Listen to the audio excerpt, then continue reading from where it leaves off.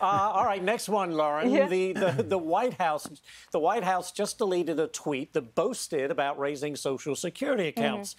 Excuse me, but after it was fact checked by Twitter, what did the White House have to say then? All right, let's show you the tweet.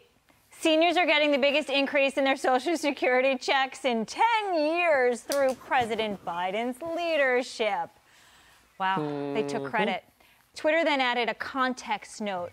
Um, hey, the, the increase is because of inflation. So the White House deletes the tweet. Here's the press secretary.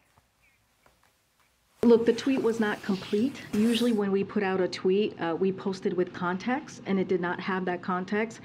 Can't, Ashley, I can't look. It is nearly impossible to do her job defending her boss, but that was a pretty bad defense. That was bad.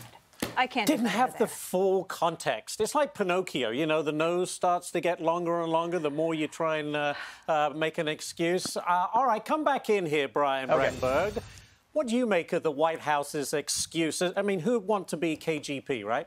I would not want to be her. But this is the funny thing about this tweet. What they actually did is admit how bad the inflation problem is because that adjustment Right. to Social Security is based on a formula that's based on inflation. So what they said is this president has given you the worst inflation you've ever seen, and now we're forced to make this adjustment. They do this all the time. Remember how much they bragged about bringing the deficit down?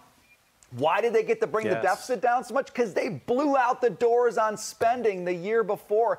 Their tweets are always context less. That's why nobody believes them on the economy. And my favorite part is that Twitter actually called them out on it.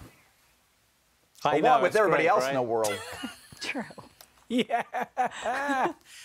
oh, my.